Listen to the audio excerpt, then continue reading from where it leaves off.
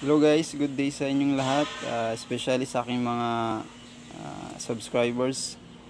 Salamat po sa inyong pagtangkilik sa aking channel. At sa mga bago lang sa aking YouTube channel ay sana po ay uh, panoorin nyo at paki-like and subscribe na rin sa aking uh, munting channel. So guys, para sa ating mga baguhan na gustong matuto sa paggamit ng ating ano yung mga parts ng ating motor. Ay ituturo ko ngayon sa inyo guys. I-share ko lang sa inyo yung kung paano natin gagamitin yung ating yung tinatawag na ano uh, fuel cock ang tawagin. Fuel valve tawag. So guys kailangan talaga tayong mga bago. Ay yung matututunan natin ay kailangan tama. Uh, kumbaga nasa proper tayo para kung makasanayan man natin ay tama yung ginagawa natin. So guys nandito lang siya sa likod. Tingnan natin.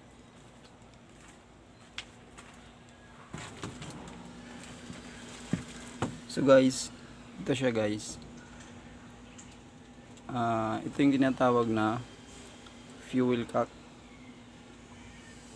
So, ito guys, yung position niya, naka-off siya. Mayroon siya guys yung drawing na ano yun. Ito parang tuldok. Pag ganyan siya guys, uh, ibig sabihin naka-off siya. Naka-off ito siya. May araw kasi siya guys yan no. Yung araw niya, may nakalagay fuel. Yung araw niya nandito ibig sabihin naka off siya guys. So pag pag yung arrow guys ito kasi yung arrow guide natin. Guide siya guys. Parang kumpas pag yung arrow kung saan nakaharap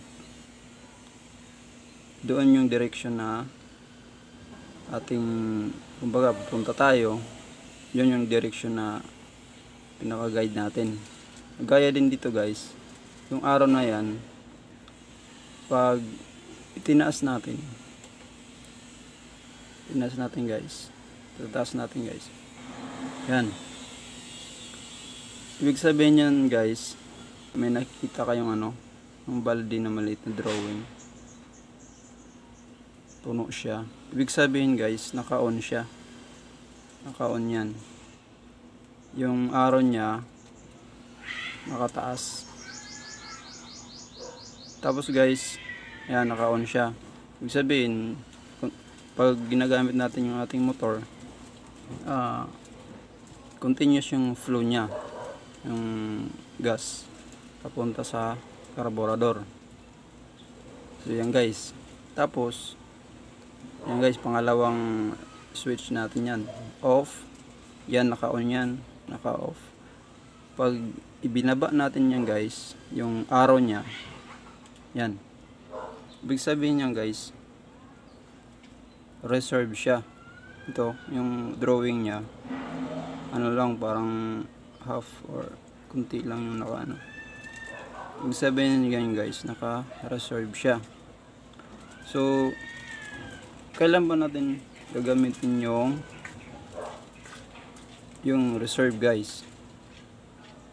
Yung reserve kasi guys, kumbaga uh, part siya ng main fuel tank. Hindi siya separate. Baga parte siya. Yung ano lang dito guys uh, pag inon natin siya yan tinas natin yung arrow. Ibig sabihin automatic na siya guys. May naka reserve so pag naubusan to guys ibig sabihin uh, yung yung main yung main fuel tank yun una yun yung unang mauubos. So pag naubos na yun di hindi na siya kumbaga mamamatay yung makina. So may option tayo safe option na may ano tayo gagamitin. So yung reserve ngayon yung gagamitin natin para ang purpose niyan guys para malagyan natin yung main fuel tank ng gas. Pupunta tayo sa ah, nearest or pinakamalapit na gas station.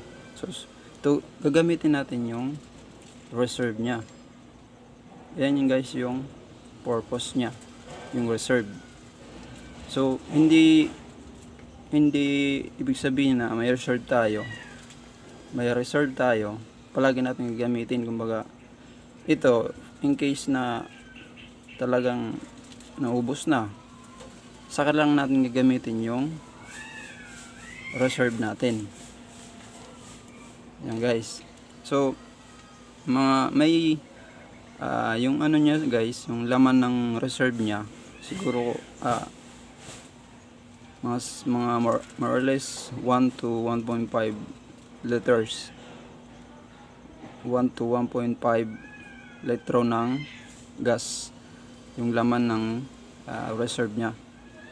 Pag ah, nilagyan natin ng gas siya guys. So ngayon dalawang okasyon yung ah, ilalagay na, kumbaga gagamitin natin yung reserve dalawang okasyon sa dalawang ah, pagkakataon na pwede natin gamitin yung reserve. Halimbawa naubusan ka naubusan yung main main tank niya naubos. So pwede mo siyang gamitin yung reserve. Pangalawa halimbawa mahabang panahon hindi mo nagagamit yung reserve pwede mo siyang i-switch na papuntang reserve. Halimbawa ipalagay na natin mga 3 months hindi mo nagagamit yung reserve. Yun 3 months pwede mo na siyang gamitin. Kasi guys pag tumagal yung ah, gas sa loob may possibility na magka-clog kumbaga mababara yung ating sa, yung sa loob mababara siya. So para maiwasan yun yung clogging na tinatawag siguro mga more or less 3 months or mas mababa pa dyan pwede natin magamit yung reserve para ma-maintain natin yung ating ah, yung sa loob niya na baga walang clog, walang bara. Ganon. So guys sana nakuha nyo yung aking sinare sa inyo sana kung may comment kayo guys mayroon kayong suggestion na makakatulong din sa ating mga ah, baguhan. Para halimbawa yung ating ginagawa ah, mali pala may tuwid din natin yung ating mga ka-riders dyan mga baguhan. Tulad ko kung sa mga expert dyan kung meron kayong additional na ah, infor- ah, information mga ideas na po pwede namin ma ma-adapt pwede namin ma-practice na tama. So guys please comment sa comment section.